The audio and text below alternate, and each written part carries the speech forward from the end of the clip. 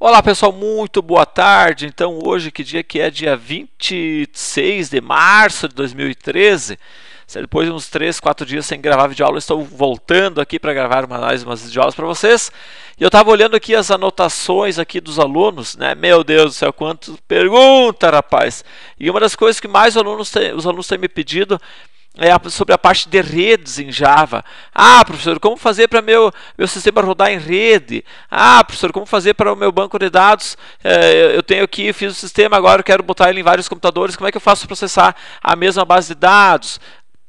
Para funcionar em rede, daí eu indico, daí eu ajudo. Bah, professor, mas está dando problema de privilégio. E outros perguntam, bah, professor, como é que faço para trabalhar com redes usando sockets? Certo? Então, enfim, tem monte de coisas, então eu vou iniciar agora uma série de aulas para vocês envolvendo a parte de redes com Java, ok?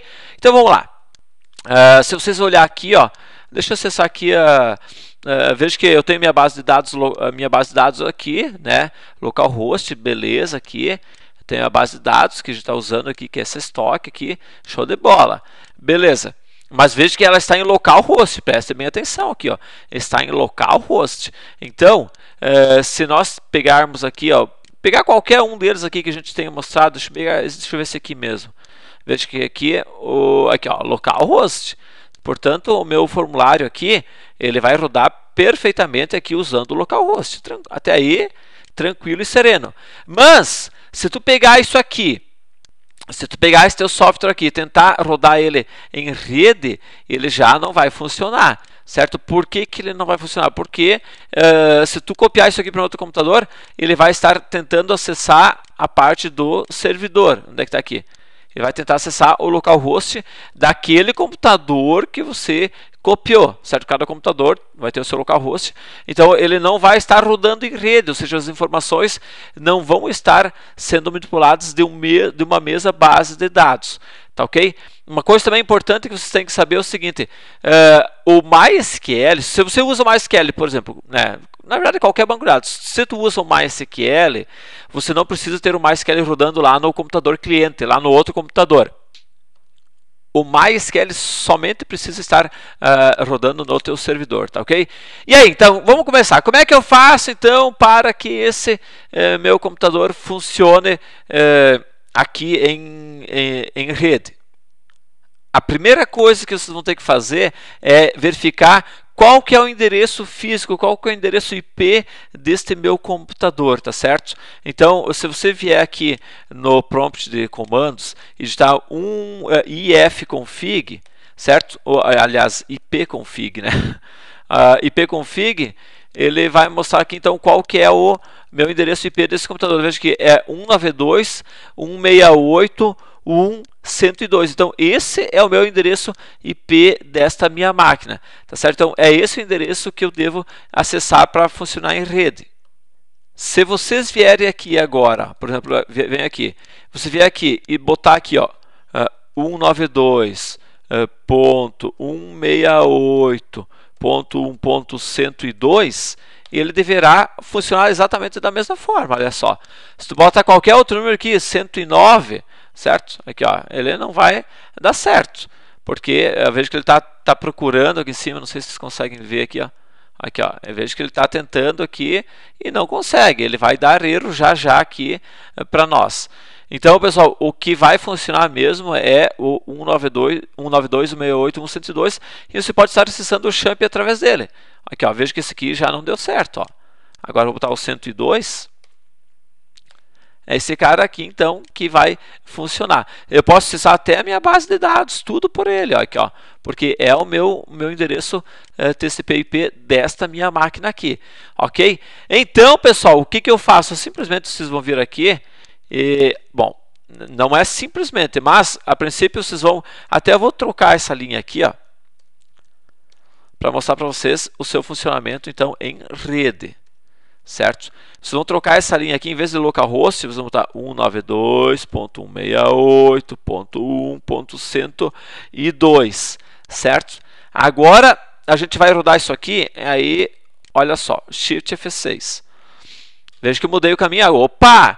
Veja que agora deu aqui o seguinte, ó, deu erro na conexão com a minha fonte de dados. Tá ok? Aqui, ó. Deu erro aqui na minha conexão com a fonte de dados. Ou seja, pessoal, uh, não, não, não se está conseguindo acessar a base eh, de dados aqui. Tá ok? Por que isso? Porque eu preciso ter privilégios para acessar essa minha base de dados. Então, esse cara aqui, ó, está tentando acessar a base de dados estoque pela rede. Pessoal, veja bem, isso aqui poderia estar acessando de qualquer outro computador, certo? Não quer dizer que eu estou no mesmo por mais que eu esteja na mesma máquina, esse endereço aqui é o endereço TCP/IP. Então, é através da rede que ele está tentando buscar esse dado. Não importa se é esse computador local ou se é um outro computador. Ou seja, ele vai tentar uh, fazer uh, essa conexão através da rede. Porém, esse endereço IP aqui, o, o banco de dados não autorizou esse cara a, a, a ter acesso aos dados. Então, você precisa configurar isso. Então, como é que eu faço para configurar isso? Uh, eu faço lá no. Você vai vir aqui no teu banco de dados, certo? Você vai pegar estoque, veja que aqui nós temos nossas bases, nossas tabelas aqui. E aqui, pessoal, tu vai procurar por privilégios, porém, tu não pode estar com nenhuma tabela aqui selecionada, tem que ser o banco selecionado. Ó. Selecionei o banco, aí vai ter aqui privilégios. Opa! Agora sim! Veja bem aqui, quem é que tem acesso aqui à minha base de dados? Ah, é só o localhost, por isso que o localhost lá, vocês viram que a gente botava o localhost e ele, ele tinha acesso, né? Ah, ok? É, só ele e o Linux têm acesso. Ou seja, aquele endereço aqui não tem acesso a nada. Então, o que, que nós vamos fazer? A gente vai falar para ele que esse cara aqui vai ter acesso à base de dados, tá ok? Então, como é que eu faço aqui? Ó? Adicionar usuário certo? Então aqui vamos adicionar aqui uh, um usuário, vamos adicionar aqui o usuário root, tá ok? Uh, adicionar o usuário root. Aqui vamos pegar o servidor, vamos botar aqui então o endereço de um servidor, até para que somente esse cara aqui tenha acesso. Uh, aqui senha, pessoal, como uh, é um sistema que vai, vai, vai, vai ter acesso de outros lugares, então vamos colocar uma senha aqui, certo? Nerizon, porque não, não é uma boa prática você deixar sem senha, né?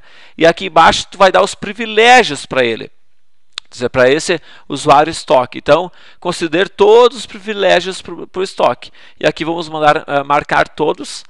Aqui, ó, mandamos, marcar, mandamos marcar todos. Está aqui todos eles marcados. Vamos adicionar usuário. Uh, ah, sim, o usuário root já existe. Vamos adicionar um outro usuário aqui, então. Vamos botar aqui o usuário Neri, certo? Neri, ok. Vamos adicionar aqui o usuário Neri aqui adicionar usuário, certo? E pronto, já adicionamos aqui o usuário Neri, tá certo? É, que vai ter aqui todos os acessos aqui, específico para o banco de dados. Se tu quisesse é, editar aqui alguma coisa tá, para definir ele como sendo específico, poderia fazer, mas só isso aqui já está bom, tá? Uh, Neri, acesso global, sim, todos os privilégios, tá certo? Então aqui está perfeito perfeito, perfeito, perfeito aqui, tá? Se tu quisesse marcar mais alguma coisa, poderia marcar mais alguma coisa, certo? Para que dessa forma, então, nos meus privilégios, o específico também teria acesso, mas só aquele de cima aqui já era o suficiente é, para mim ter acesso à minha base de dados. Ou seja, agora o usuário Neri, certo? No servidor 192.168.202 vai ter acesso a essa minha tabela aqui, tá ok? Então agora vamos vir aqui, é, usuário Neri, a senha, se não me engano, é Nerizon, né? Nerizon. Ok, vamos salvar isso daqui. Vamos vir aqui, Shift F6 e agora, opa, show de bola. Olha aqui, ó. Veja que agora aqui eh, já está funcionando em rede a minha aplicação, certo? Só porque a gente fez, opa, só porque a gente fez esse esse processo aqui, ó. Tá? Botamos agora tá na rede, certo? Ou seja, agora eu posso de qualquer outro computador estar acessando, uh, informando então esse usuário aqui, esse esse endereço IP, informando o usuário Neri e a senha Nerizou. Então, através de qualquer computador, eu vou conseguir ter acesso a essa minha base de dados. Certo? Então, tá aí uma aula, os alunos já sabem como fazer para rodar em rede. Então, na nossa próxima videoaula, a gente vai dar continuidade, vamos pegar esse, esse sisteminha, vamos jogar para um outro computador na rede, vamos fazer acesso, vamos mostrar para vocês que realmente está funcionando em rede este sistema, tá ok? Um abraço, até mais e tchau.